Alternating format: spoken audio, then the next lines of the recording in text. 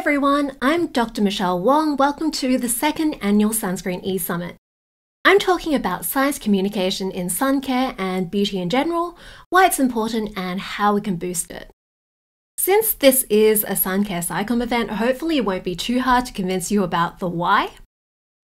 A bit about me my formal education is in chemistry, my professional background is science education. I'm the founder of Lab Muffin Beauty Science, where I explain the science behind cosmetics for a general audience, and a lot of the time this means sunscreen. I've been making content for about 11 and a half years, mostly on my website, Instagram, and YouTube.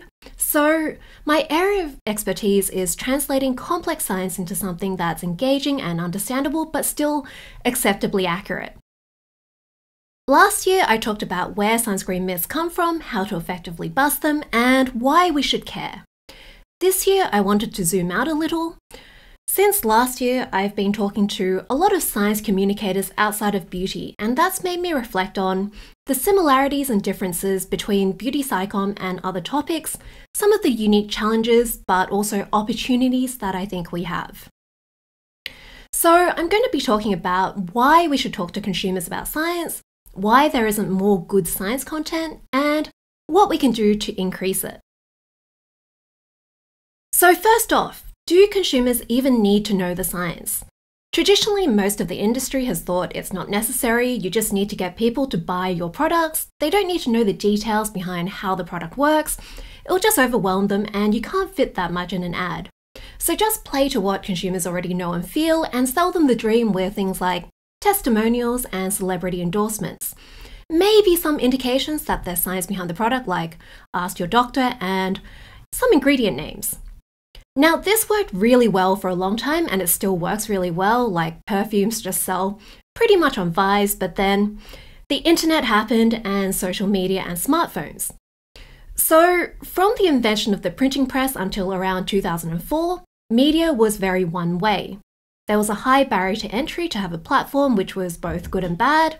There were gatekeepers, everyone was getting pretty much the same message through magazines and TV, and that message was tailored for a general audience. Then the floodgates opened around 2004, starting with Facebook. Suddenly, there was a very low barrier to entry.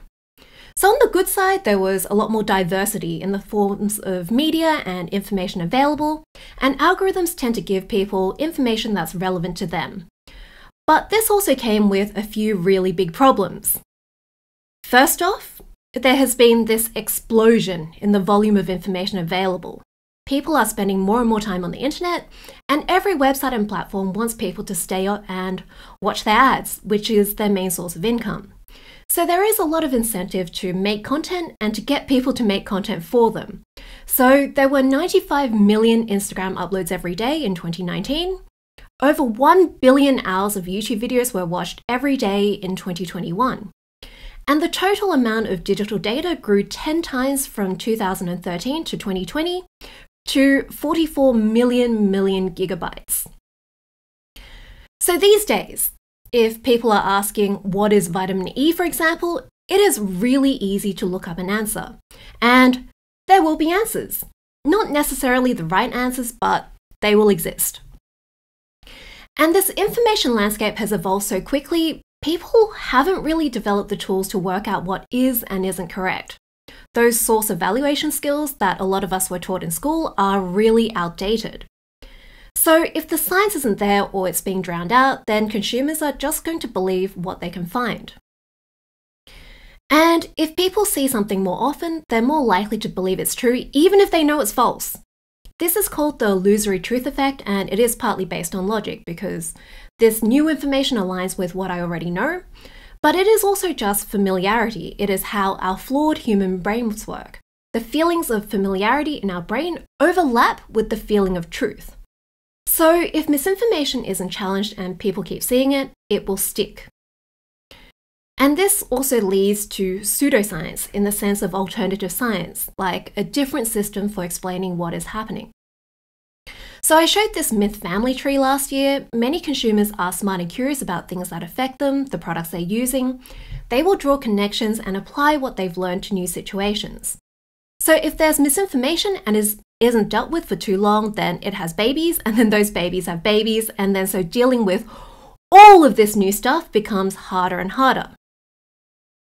Another example of alternative science is clean beauty scores. So, sites like the EWG have made up their own systems to turn studies into scores for ingredients, and then those become scores for products somehow. It is mostly based on vibes. I think it is really well summed up in this quote from a paper critiquing a similar system that they have for food. The methodology used to create the Dirty Dozen list does not appear to follow any established scientific procedures. There are a lot of internal inconsistencies because the system doesn't reflect reality, like they have always said that oxybenzone is the worst sunscreen ingredient, but according to their scores, it doesn't actually seem to be the worst anymore. But a lot of consumers will believe all of this because for the longest time, you just couldn't find easy to understand information explaining how the toxicology of cosmetic products work. So now instead of debunking just one fact like oxybenzone is dangerous, you have to explain away a whole system of thought. And this is a huge problem because consumer sentiment has a massive influence on our products and regulations. So the cosmetic industry ends up on a constant treadmill of making products to solve non existent problems, and often this creates new problems. So we've seen this with preservatives, where there's been regrettable substitution with increasing allergies as new preservatives have replaced parabens. Smaller brands are making products without preservatives because they don't know the science, which leads to mold. And the list of preservatives that consumers don't hate are getting smaller and smaller because that is where this whole scientific, pseudo-scientific system ends up. And while in the short term, lots of companies might be able to take advantage of these trends to sell more products, it usually means that in the long run, dishonest actors get an unfair competitive advantage. We are also seeing it with sunscreen. So, this is just one example. There was this widely publicized, unreplicated study with lots of methodological issues about these two chemical sunscreens bleaching coral. Even though there was existing evidence that mineral sunscreens could potentially be more harmful than lots of chemical sunscreens, this misinformation wasn't tackled early and effectively, and it's now grown into all chemical sunscreens being banned in Maui County. It might expand to all of Hawaii, possibly further. Reef Safe has been a claim for a while now, and now we're seeing Hawaii compliant, which will also go towards reinforcing this myth that these ingredients are so bad the government banned them. And this obviously has implications for people getting skin cancer. Mineral sunscreens are just not a good option for many people. And it contributes towards this wider idea that the industry makes dangerous products, which again leads to this treadmill and a wider distrust of science in general. So here is Michelle's grand unified beauty misinformation feedback loop. Bad information is teaching consumers to demand bad products and marketing and bad legislation. The bad products of marketing and legislation are reinforcing and adding legitimacy to the bad information in consumers' minds. And then consumers seek out and share more bad information, and consumers also become content creators who make more bad information. So, I guess the question is why isn't there as much good information? Well, the first issue is just that accurate content takes longer to make.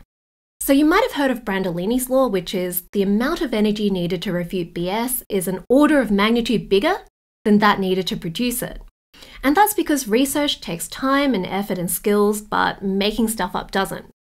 So it takes me about 20 hours to make a YouTube video when I'm not already familiar with the topic. This is 20 more hours in addition to all the editing and all of that. So that means a lot more misinformed content can get made in the same amount of time.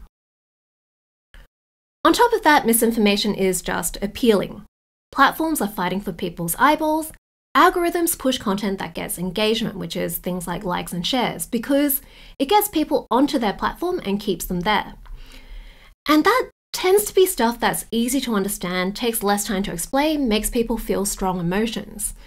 And you can just make up misinformation to tick these boxes, so it is inherently going to get shared more, and there is more incentive to make this sort of content. So, for example, when a scary sunscreen story comes out, there is a flood of clickbait articles and posts.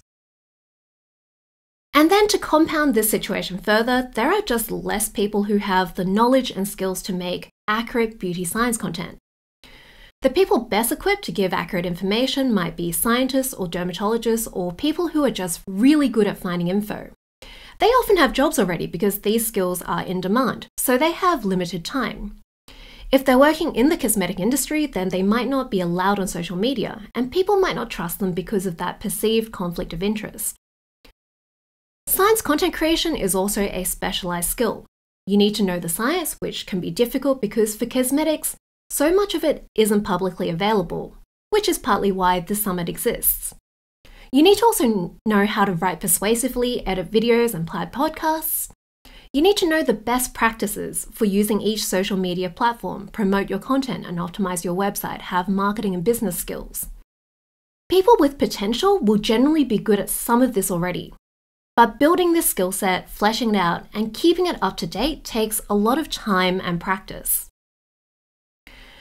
And there is a really high rate of burnout and attrition with beauty science content creators. It can be really rewarding, but you are often challenging people's deep seated beliefs. There can be a lot of hate comments. Because of all these extra demands, it often feels like you are working so much harder for much less recognition. And good science communication often looks easy and obvious, so it ends up being underappreciated even by other scientists. And people will plagiarize you in subtle and not so subtle ways, which just adds to this feeling of, why am I even doing this? Because you are probably doing it unpaid for a long time, unless you are very lucky.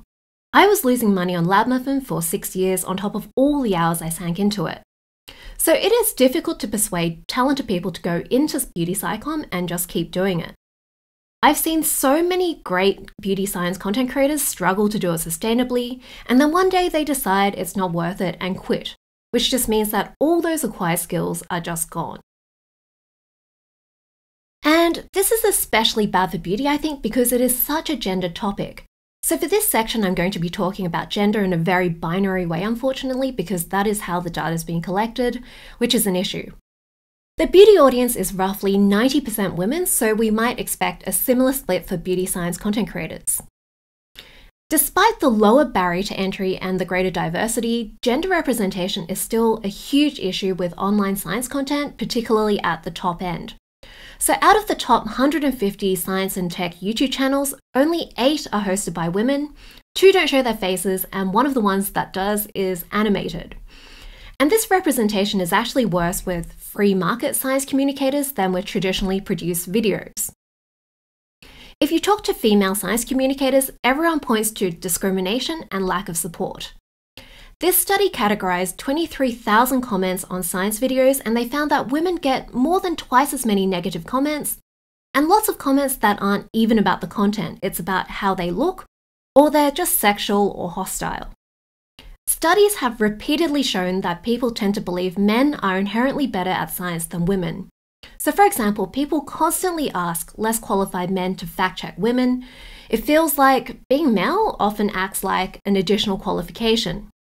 And if this was just once a week, it would probably be fine, but it is constant. Almost a decade ago, Emily Graslie linked this to why there's far fewer female science YouTubers. In general, women don't have enough time to make science videos because of the pressure that every episode has to be flawless in execution. There's a pressure to be the whole package. Not only do you have to be intelligent and articulate, but you also have to be attractive. So there is a greater time commitment for women, as well as extra time wallowing in self criticism from the negative comments about the science. We also have to spend extra time on our appearance when a lot of men can get away with just picking up a camera and filming. And of course, there are other barriers in representation that have a compounding effect, like ethnicity, class, sexual orientation, physical ability.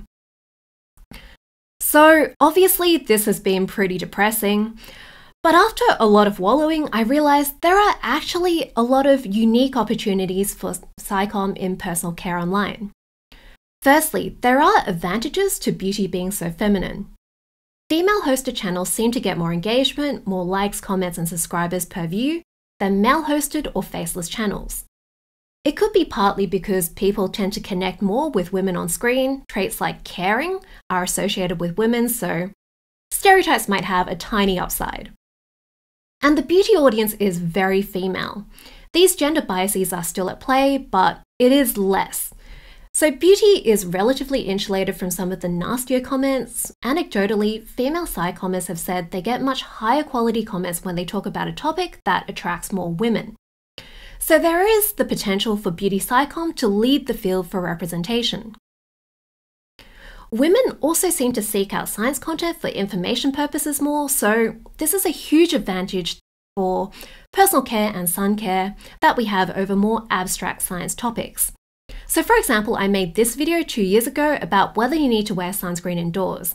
There is a lot of technical detail about using Skyview to estimate UV, and it's getting towards half a million views. There is a graph in the thumbnail, people hate graphs. I decided to really try pushing it in um, this next video where I talk about how sunscreens work, things like electron excitation and relaxation, 40,000 people decided to watch physical chemistry in their spare time and not just to prepare for an exam. This is really impressive. Another example, these are the top two skincare products at one of the biggest pharmacy chains in Australia. They have super technical names on identical looking bottles. These would not be selling this well 20 years ago. So I think this should be really encouraging for people who want to do beauty SciComm and also for brands whose products are based on solid science, but they might need a bit more explanation. Now, how can brands participate in and support SciComm? Obviously, you can incorporate it in your marketing, share data about your product, explain how it works. If you're not confident with that, you can hire science communicators. But a lot of brands have told me that they don't feel like consumers necessarily trust them when they do SciComm, particularly when it's debunking misinformation relevant to their products. And that's a problem because myth busting is such an important area of SciComm for beauty. There is a bit of an attitude of, of course, that's what you would say to sell more products and smear your competitors. Another option is sponsorships with independent science creators. Sponsored posts typically appear on their platform. The creator has established credibility and a relationship with their audience. They also know how best to tailor the content. I've done a lot of these, it is one of my main income sources. You do need to disclose the conflict of interest, and some people are naturally a bit suspicious, but beauty is actually one of the more mature areas for influencer partnerships. Beauty consumers are a lot more receptive, than in a lot of other areas of science. Many see it as beauty brands supporting science. Plus, with scientific content, you can present data and verifiable information, which helps it look less biased. A new option that I hope will be part of the solution is Beauty SciComm Group. This is an organization I started with Jen of the Eco Well to increase the quality, volume, and reach of accurate beauty science content. We've been doing Beauty SciComm online for a combined 18 years, and based on our experiences, we have a bunch of ideas that we think could really help, but it is more than we could do on our own. So, some of these ideas are free education programs for beauty psychomists to help them develop their skills faster, make better content, get it to reach more people, and hopefully make it more sustainable for more psychomists to do more beauty SciComm for longer. We're also going to have beauty science resources to make it easier for less technical content creators and journalists to find accurate information. There's also a media centre that will have press releases and relevant experts for breaking news stories to try to tackle myths early. So if you're interested in finding out more about us or supporting us, we're at beautyscicomm.com. You can also follow us on Instagram and LinkedIn. So, I really believe that this misinformation feedback loop can also work to make an ecosystem for good information and products and regulations as well. So, hopefully, I've given you some insights today into why SciComm is so important in sun care and beauty, and some ideas about how we might be able to shift the balance and push our industry in a better direction.